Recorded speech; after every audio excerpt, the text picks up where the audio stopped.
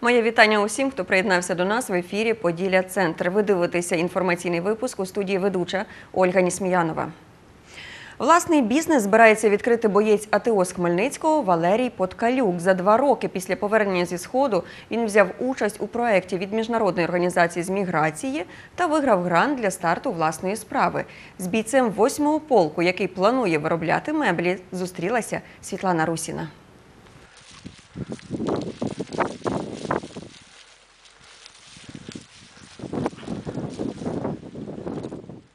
Ніхто не знав, куди ми їдемо, що ще всі такі веселі були, ще ну таке відчуття, що ми їдемо зараз якусь там ігру там і грати. Два роки на сході провів хмельничанин Валерій Подкалюк. На початку війни у складі добровольчого підрозділу Плоскирівська сотня поблизу Бердянська і Донецька. Згодом у складі 8-го окремого полку спецпризначення під Дебальцеве. Конкретно перший раз такий попав під ці під обстріли і там і бачив втрат багато наших. Володар чотирьох відзнак Валерій не одразу зміг повернутися до мирного життя. Спочатку продовжував їздити на схід як волонтер. Потім працював у Німеччині та на меблевій фабриці у Польщі. Каже, повернувся заради трьох своїх дітей. Спроби ж знайти роботи у Хмельницькому завершилися невдачею. Не хочуть брати на роботу нас, вони, виходить, зараз кругом військовий квиток треба. І вони дивляться, ага, приймав участь там. Ну, вибачте, ви нам не підходите. А що сталося? Типу, що не цей?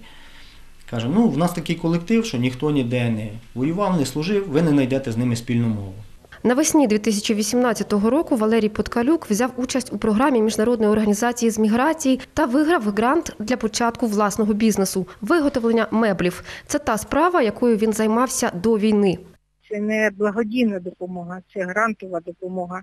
Їм закуповується на їх запит обладнання під їх бізнес-ідею і передається в безоплатне користування. Далі буде процес вже оформлення підприємницької діяльності, е, орендую там приміщення. Чим більше замовлень, тим більше буде працівників.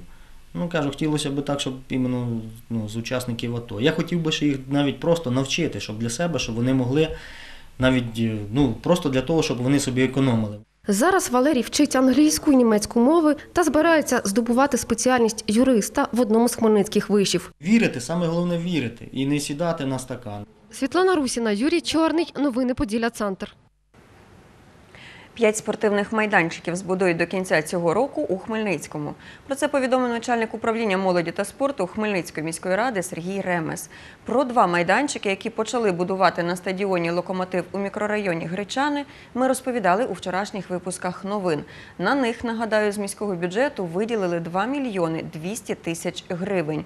Ще три спортмайданчики, за словами Сергія Ремеза, до кінця року з'являться на території хмельницьких загальноосвітніх шкіл. В цьому році ще планується департаментом освіти і науки облаштувати майданчики на території е, загальноосвітньої школи номер 8 номер 27 Це за умови співфінансування з державним бюджетом. З міського бюджету на кожен майданчик було виділено біля півтора мільйона.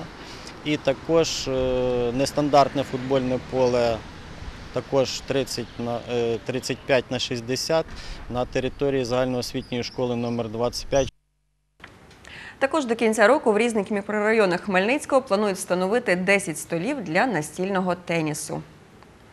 Центром по роботі з дітьми і підлітками планується закупити і встановити 10 столів настільного тенісу антивандальних, такі як ми поставили на вулиці Тернопільській, е, 34. Ми вже якби подивилися. Стіл е, себе якби виправдовує такий, е, його не можна розбити, розвалити. І е, було прийнято рішення такі столи встановити в різних мікрорайонах міста. 107 стрічок склали шорт-лист другого міжнародного фестивалю короткометражок Бруківка. З них 27 аматорських, 43 професійних, 16 анімаційних фільмів та 21 ролик соціальної реклами. Як зазначив директор фестивалю Андрій Заєць, автори стрічок представники 27 країн світу. Відкриття Бруківки відбудеться цієї п'ятниці. Першим покажуть фільм чернівецького режисера Станіслава Пуздряка «Прожект Альфа». Фестиваль буде відбуватися три дні. Це 22, 23 і 24 червня. Основний день буде найцікавіший для глядачів. Це субота. Будемо в суботу показувати е, аматорські фільми і професійні фільми. А в неділю будемо показувати анімаційні і буде майстер-клас по анімації. Буде фільм відкриття в нас е, кінофестивалю. Прийде вся команда фільму Project Alpha, режисер Пузняк Станіслав. З е, фільм знімався протягом двох років, і ця документальна стрічка розповідає про відомих музикантів, е, бізнесменів, підприємців, про те, як реалізувати себе, реалізувати свою мрію. Усі фестивальні події відбуватимуться у Кам'янець-Подільському будинку культури. Вхід на них вільний. Окрім перегляду стрічок, заплановані зустрічі з режисерами та майстер-класи. Дуже всім сподобалося на першій бруківці спілкування з режисерами, якби всі нюанси кіно, як це робити, як знімати, і це молодим режисерам цікаво. Для глядачів е, буде цікаво позаконкурсна програма. Потім окремо до цих всіх заходів буде екскурсія. Ми готуємо екскурсію місцями, де знімалось кіно в Кам'янці-Подільському за останні 50 років. Так як в Кам'янці було до півсотні стрічок знято.